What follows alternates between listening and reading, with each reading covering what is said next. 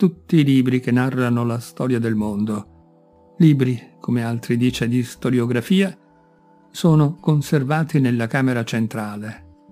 Tale sala è un angusto ambiente, di pianta circolare e dal diametro di 4 cubiti. La circonferenza che ne deriva è dunque pari a 13 cubiti circa.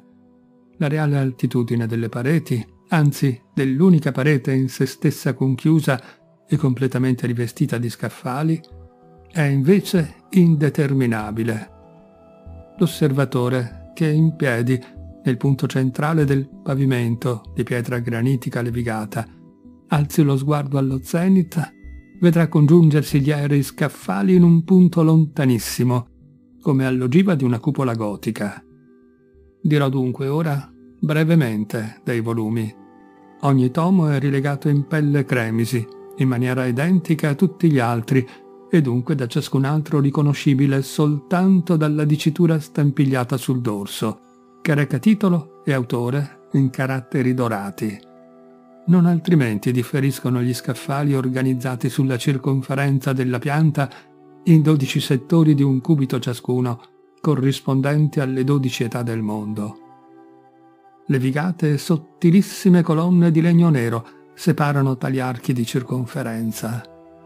Parallelamente alle colonne e perpendicolarmente agli scaffali si innalza per ciascuno dei dodici settori del medesimo materiale una scala a pioli.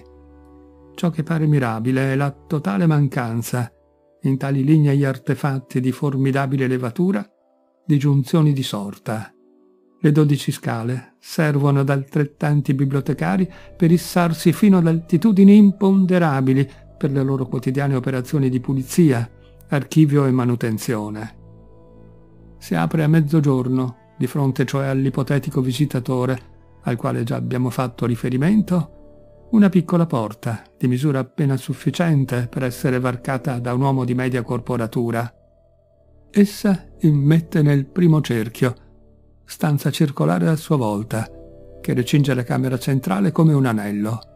Conformi a quelli del primo e più interno ambiente sono dunque le pareti e per fattura e collocazione gli scaffali, addossati alla sola parete esterna, quella concava di tale arcuato corridoio molto più rari e radi, sono invece quivi i volumi conservati, distanti gli uni dagli altri e per lo più isolati, talvolta adagiati sulla quarta di copertina e solo sporadicamente giustapposti a piccoli gruppi.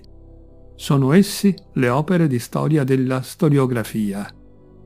Le due pareti, la convessa e la concava, che delimitano il primo cerchio, distano in ogni loro punto rispetto al punto più vicino della parete opposta, esattamente 5 cubiti.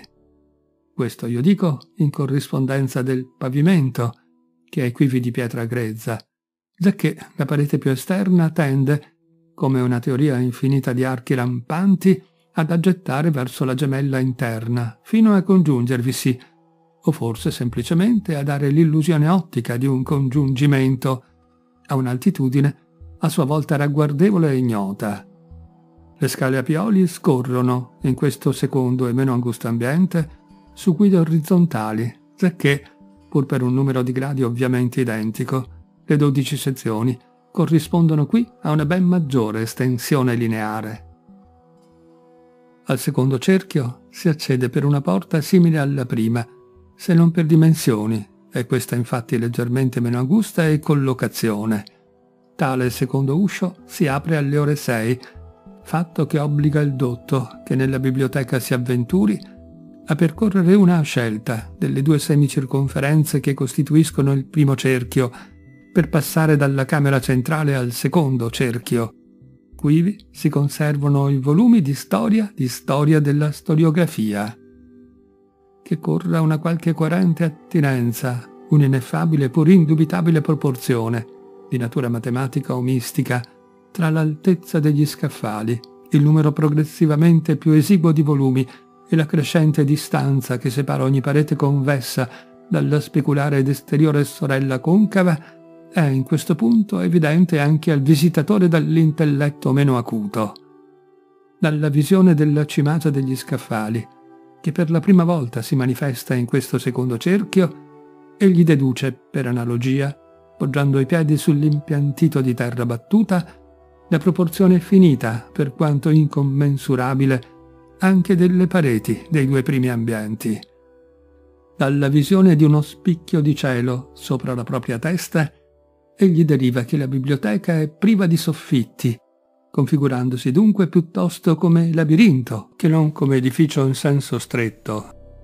I dodici bibliotecari che a questo terzo ambiente presiedono possono contare, come i colleghi delle due camere interiori, su scale a pioli intagliate nel legno, per quanto quivi tale materiale sia di minor pregio e dotata in aggiunta di un qualche solerte congegno, la cui natura meccanica o idraulica mi è ignota, atto a farle scorrere in orizzontale, lungo il proprio dodicesimo di circonferenza. A mezzogiorno un cancello di ferro nero immette nel terzo cerchio. Lo studioso che superi codesta inferriata, intenzionato a consultare i volumi di storia di storia, di storia della storiografia, troverà ad attenderlo, giacché non più praticabile a piedi alla distanza che separa i due tramezzi, un'asina, addestrata a compiere docilmente tale servigio di traghettamento. Il muro esterno misura in altezza un cubito e mezzo. Gli scaffali che vi sono addossati sono di pari proporzioni. I dodici inservienti presidiano il proprio dodicesimo di circonferenza a cavalcioni di un identico equide. Al cerchio successivo, il quarto, si accede attraverso una mera e ampia interruzione della corona di scaffali. Tale apertura si spalanca secondo un criterio di simmetria puntuale rispetto all'anello immediatamente concentrico. Il nuovo spazio è il primo, presso il quale non siano impiegati fattorini. Chi desideri consultare una delle eccezionali opere di storia di storia, di storia di storia della storiografia, giunge al muro esterno dopo una giornata a cavallo, trovando tale muricciolo costituito in mattoni grezzi, di cotto, per un'altezza di un palmo appena. Questo cerchio non necessita, evidentemente, di sbocchi di sorta. Si ha notizia certa di eruditi giunti al quinto cerchio. Le rarissime, cavillose opere di storia, di storia, di storia, di storia di storia della storiografia vi sono semplicemente adagiate al suolo, sulla linea di una circonferenza abilmente tracciata nella polvere con qualche oggetto puntuto.